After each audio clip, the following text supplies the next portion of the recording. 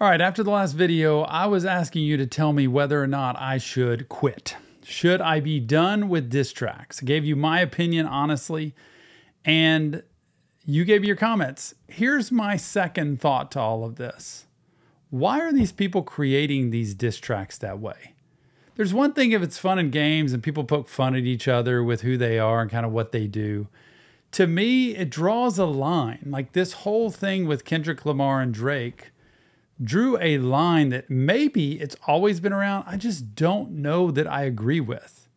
And the number one line is bringing in family, especially children. The number two line is trying to drag somebody through the mud when you're not even sure what exactly the truth is.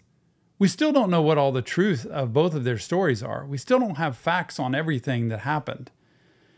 And Kendrick Lamar, you know, who was blatantly talking about wanting Drake to die and talking to his children about what a horrible person he was and his parents and on and on. If that was in fun and games, I stop and I think, do I want to be a part of that? As a mental health professional, is that something that work like or anybody, what makes that okay? It's one thing if it's you and me doing it face to face, like let's fight between the two of us. But when it's out in the open and then you start bringing in stories that children can hear when they grow up. That's my biggest issue with all of this is that their children are left to hear this for years and decades to come. Stories that might be true or they might not be true about their parents, and their parents are forced to have to deal with them. The idea that a child was not was hidden, was not acknowledged, or it was but it's none of your business because it's private matter. The idea that you're a pedophile or you are a horrible person and you should die. The, when you start the fact that you were abused and that's why something's wrong with you. Well, it wasn't Kendrick Lamar's fault that he was abused. It's like it wasn't that that was he's a victim of that. That's not something that should be held against him. And so I want to know from you like where does the line get drawn? Where it's just fun and games and everything's great and it becomes a serious matter because when I heard J. Cole do his speech, which I was really proud of him for, I heard him say, you know what, I don't want any of this. And I think part of it was like, I'm in a different place in life where I just don't want to get into that. And also, I don't want stuff, stuff dug up against me and about me or made up about me. And I don't want to have to go trash people. I almost have a feeling he had a clue into what was coming. So he just graciously bowed out, which is kind of how I feel. Like it's okay to not want to be a part of something like that.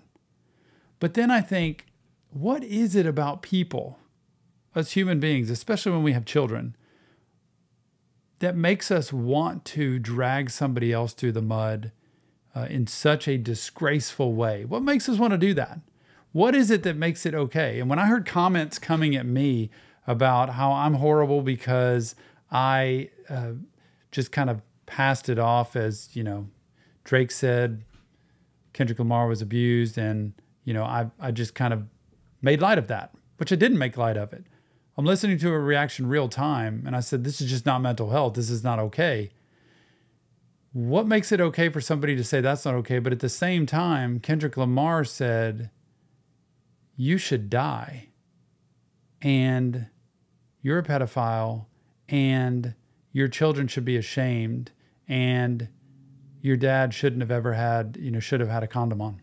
I just hear all these things and I'm thinking, what normal people do this? And I don't get it. And now, if you tell me it's a rap game, it's the way it goes, it's what they do, it's not who they are in person. If I sat with Kendrick Lamar or I sat with Drake, I'd love to hear, like, how much of this is really you? Because I've talked to artists who sometimes they have told me you know, that's not really me. And so is it fake? Are they making stuff up? Are they really trying to end somebody? Are they really trying to take somebody down? And when do the gloves come off and it, it all becomes fair? Because you said this about me, I can say this about you. And they need to stay on, which means that's not fair game. When is it not okay to bring something up?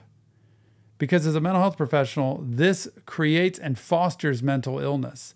And so I heard people on both sides of the coin yelling at me, like Kendrick people and Drake people, that I wasn't being fair or that I was a very bad mental health professional because I was just letting all this go. Well, you know what?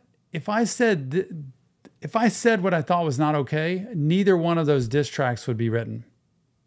They wouldn't do it to begin with.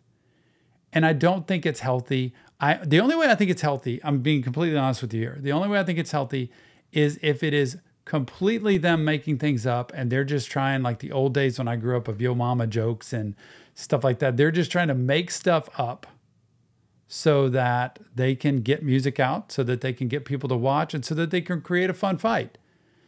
Like old school wrestling was, where it was all staged and it was fake, but it looked like it was real and we played like it was real. That's the one way I can see this. And what I did was I took my therapist hat off and I said, you know what? I'm just going to listen to this and see where they're coming from. And I think it's important to do that because otherwise I would only listen to very specific music and half of what we listen to I probably wouldn't react to, which means we wouldn't have a channel. We wouldn't be doing this. I want to spread mental health awareness to the world no matter the music. I want to listen to music like this and do it from a mental health perspective and enjoy the art that they're creating, but not attached personally to. I love Kendrick Lamar and what he just said about Drake being a pedophile. And I love Drake because of what he just said about Kendrick Lamar being abused, and that's why he's got issues. I don't want to have to do that. I want to be able to listen. I want to be able to appreciate. I want to be able to have fun with the music. And I want you to be able to understand that this is all entertainment also but sometimes it gets too personal. J. Cole might have had it right. Let's collaborate. I would want to see people collaborating, doing things together. But a lot of people want to see the fighting. A lot of people want to see them tearing each other apart. And it's all great, but sometimes in this last week, and same with Chris Brown with Quavo, I feel like, man, he just went off kind of too deep with a little bit of that. But Kendrick and Drake, they went to a whole nother level, which was great for the community. It was great for the music world. It was great for the rap industry. But I don't know as a mental health professional if that's something I should be doing. And if not, it's all good. That's why I wanted to hear from you. Should I keep doing this? Should I stop doing this? Because if I stop doing this, then I have to back off. Or here's the other side I could keep doing diss tracks, but I react completely from the mental health perspective. I give you my point of view that is okay or not okay based on what I'm hearing. And I've said it to you before. Sometimes I love the beat and the rhythm of song, but I don't like the lyrics at all. Sometimes I love the lyrics, but I don't like the beat and the rhythm of a song. So I've got two sides. And while I'm thinking about backing out of the diss track, meaning getting into it so much, I might still react to it, but really from a mental health perspective. And you know what that's going to mean, Drake fans? He shouldn't have done what he did. And you know what that's going to mean, Kendrick Lamar fans? He should not have gone where he went. It's going to end up on both sides, which is okay. But just remember Sometimes it gets too far and it's way past personal. Tell me what you think. Give me your feedback. I want to hear, honestly, where am I off base? Where am I on base? And what needs to happen next? Because I'm thinking about pulling a J. Cole.